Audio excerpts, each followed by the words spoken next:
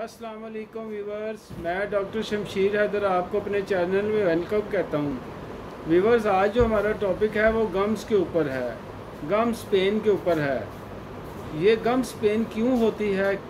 इसकी वजह ये होती है कि जब हम सख्त चीज़ें इस्तेमाल करते हैं, सख्त चीज़ें खाते हैं, जैसे गोश्त खा लिया, सख्त सेब खा लिया, ऐसी चीज़ों के साथ गम्स में स्वेलिंग हो जाती है। जब ये स्वेलिंग होती है तो उसके साथ साथ दर्द भी होना शुरू हो जाता है।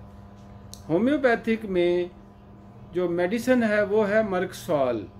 अगर हम मर्कसाल को 30 पोटेंसी में दिन में तीन टाइम इस्तेमाल कराएँ या चार टाइम इस्तेमाल कराएँ, सुबह, दोपहर, शाम को, रात को तो ये गम्स की स्वेलिंग जो है, ये ठीक होना शुरू हो जाती है। इसके साथ साथ अगर हम काली म्योर भी इस्तेमाल करें थर्टी पोटेंसी में और ये दोनों मिक्स करके इस्तेमाल की जाए तो इन दोनों के इस्तेमाल से तो बहुत ही जल्दी फ़र्क पड़ना शुरू हो जाता है।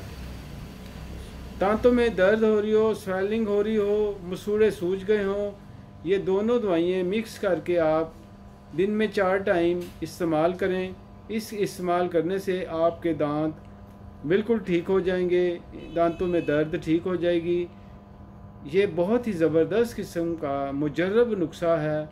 अगर आपको मेरी ये वीडियो पसंद आए तो इसको लाइक कीजिएगा सब्सक्राइब कीजिएगा बेल आइकन के बटन को दबा दीजिएगा।